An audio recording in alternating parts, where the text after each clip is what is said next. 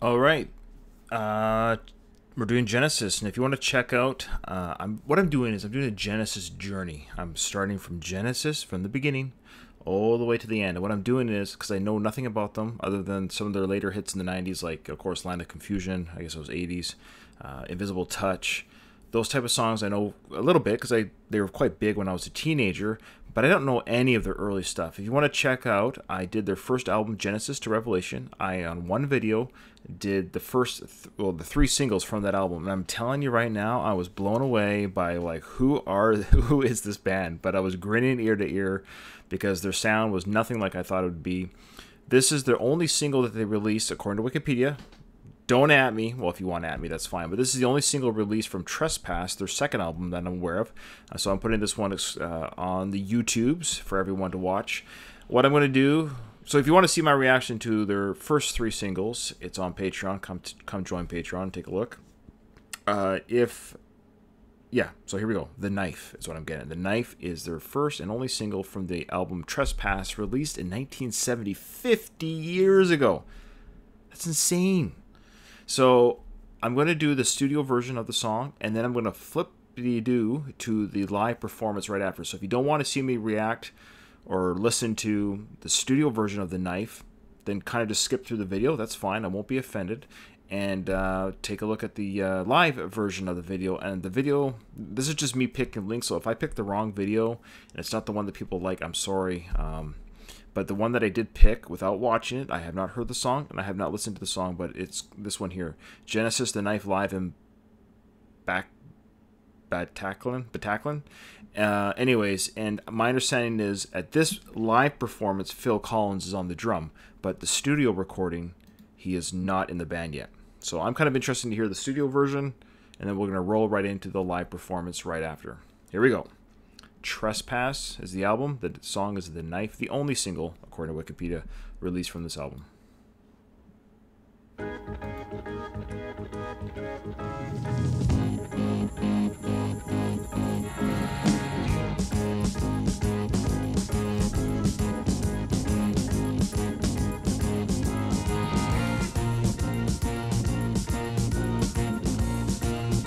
Love it.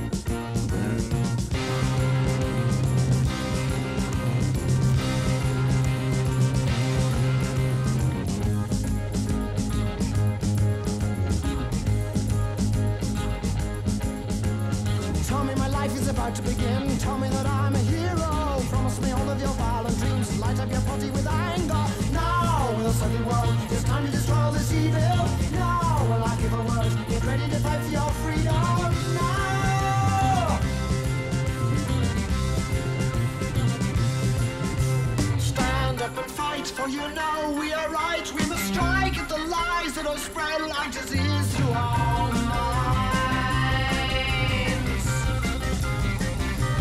Already sounds way different than their first songs.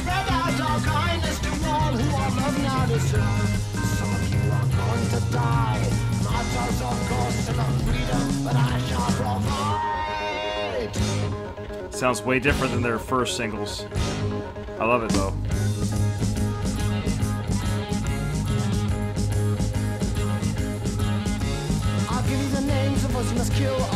I'll give you the names of those you must kill. All must die with their children. Carry their heads to the palace of old. Hang them high, let the blood flow now in the sunny world. The chains around us now. The crusade has begun. Give us a land the heroes now.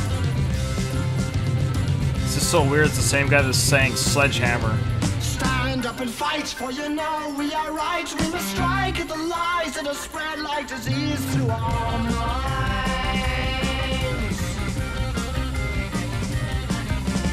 We'll have power, every soldier will rest, and we'll spread out our kindness to all who our love now deserve.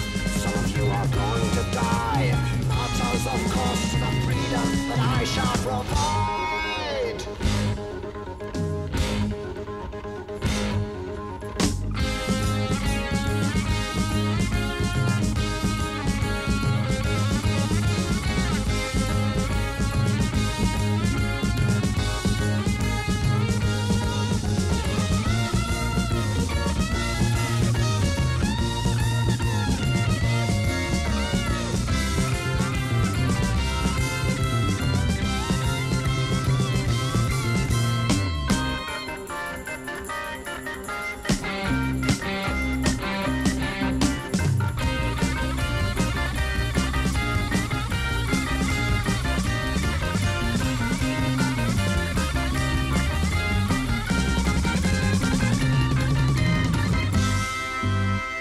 It's like if Deep Purple met Simon and Garfunkel.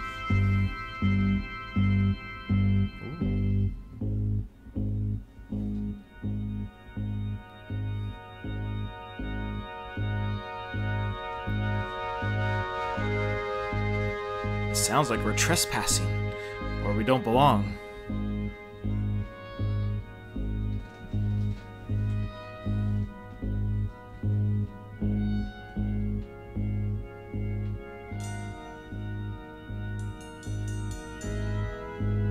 Old is Peter Gabriel now? This was 50 years ago. Was he 12 when he did this song?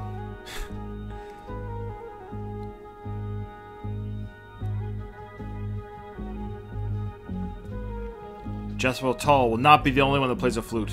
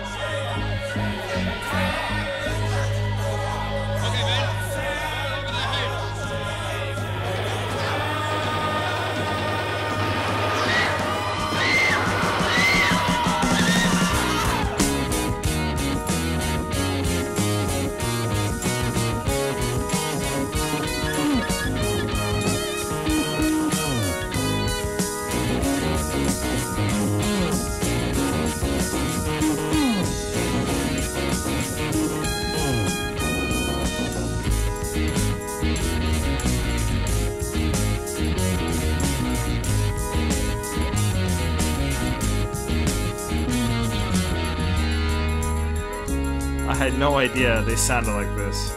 This is crazy.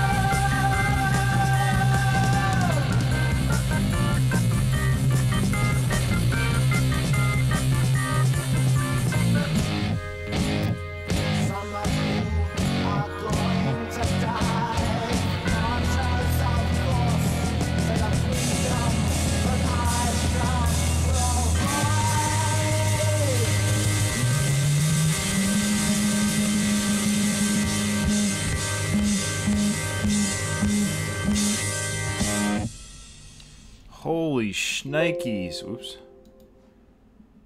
Holy shnikes. That was awesome. Like, seriously. That was like a journey. Hey, speaking of journey, I should. No.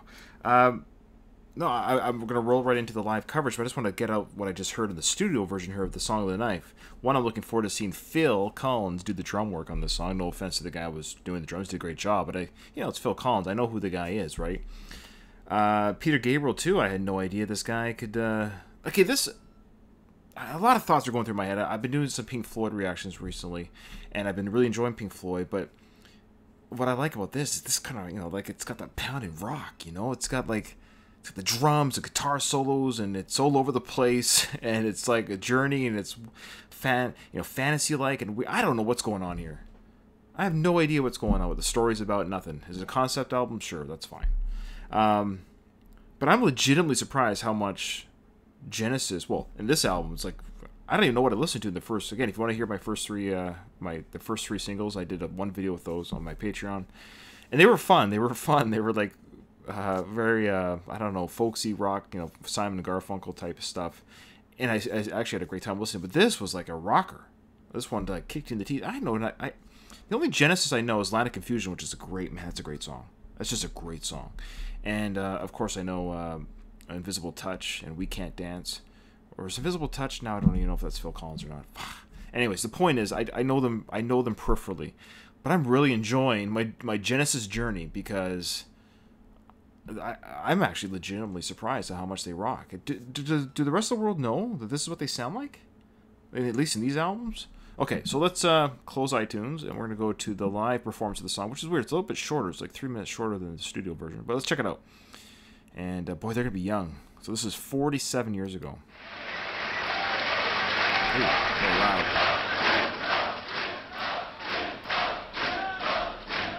What are they saying there? Pizza, pizza.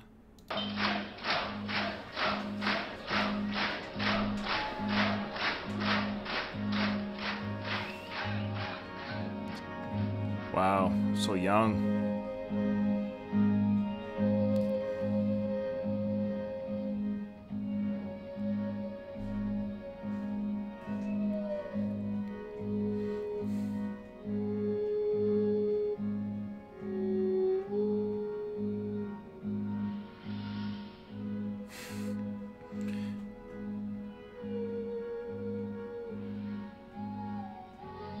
What's that Phil Collins there?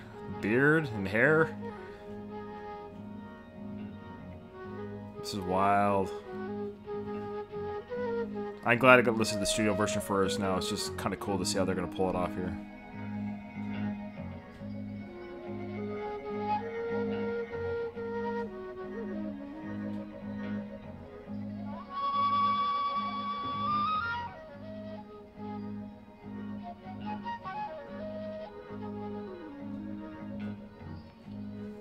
Did I get the right song? I just want to make sure. Yeah, the knife. Okay.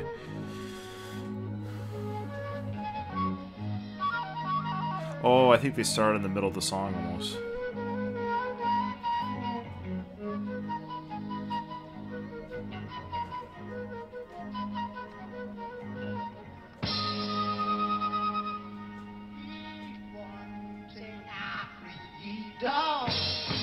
Is it Phil singing?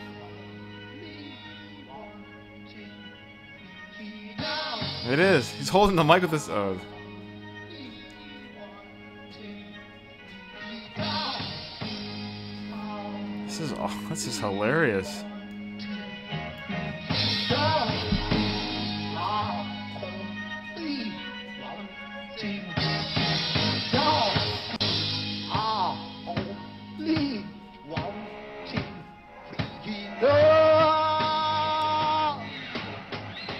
The world?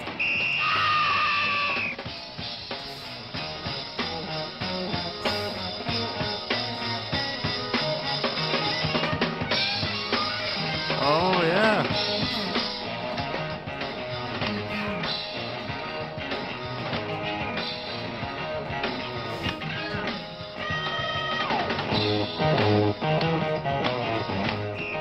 Oh, look at those shorts.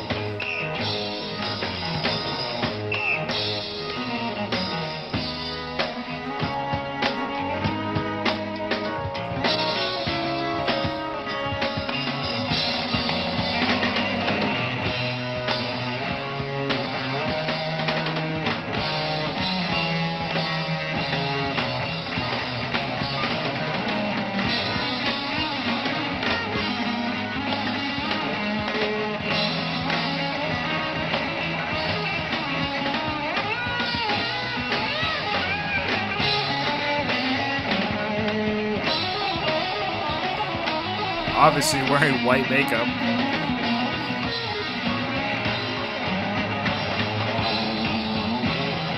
I love it.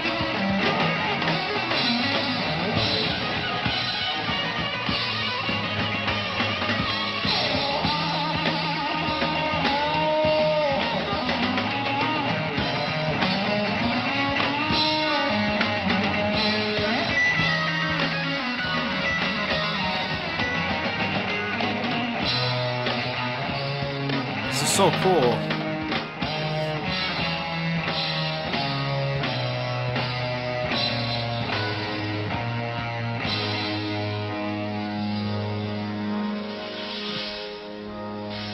See a young Phil Collins. It's so cool to see him on drums.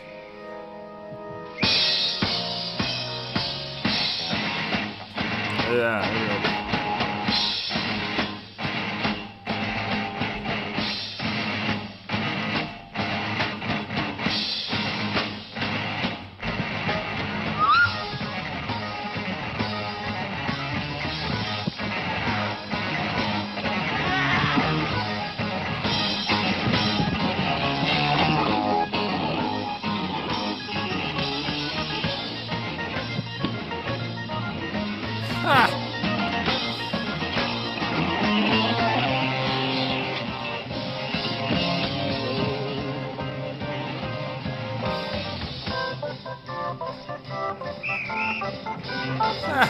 Is hilarious.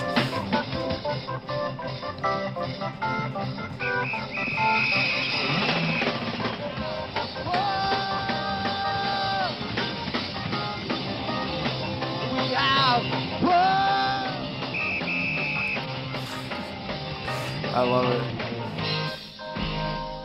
Some of you are to die. Marches of for the freedom mind. Now! Now! Now!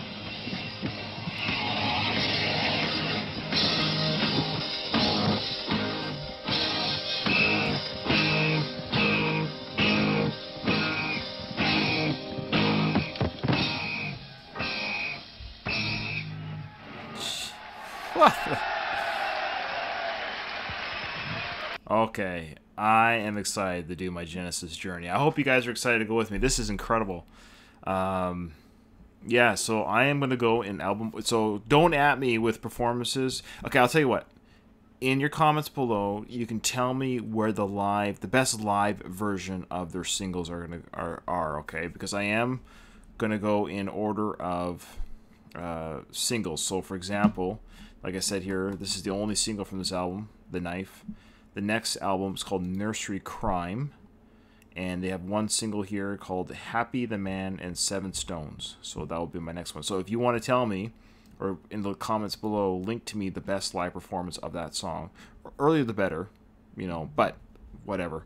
Um, it was really cool. So back to the video. It was so cool to see Phil Collins. I mean, I love Phil. Like I know the solo artist Phil Collins pretty well. Like all of his great. Like if you put on his greatest hits package, I know it and I really enjoy Phil Collins. But it's so cool to see him drumming away like that and just killing it on the drums, blowing the whistle, doing a bit of background vocals at the beginning. And Peter Gabriel, I had no idea.